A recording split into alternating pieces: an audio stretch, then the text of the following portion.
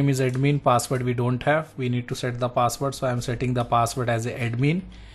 Password as admin then after that show system interface. This is a command we are using. And press question mark. So when you done this one you will get this ip you can see this is a port one. By default port one is having the dhcp enable here.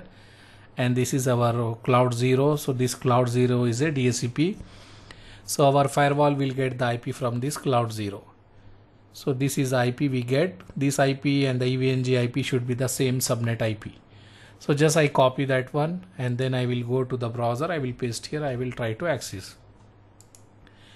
And then you can click proceed. Here you will have the dashboard. Just write login.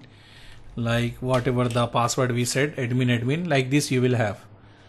So here we need to click this one evaluation license and here we need to put the email id and the password whatever we set.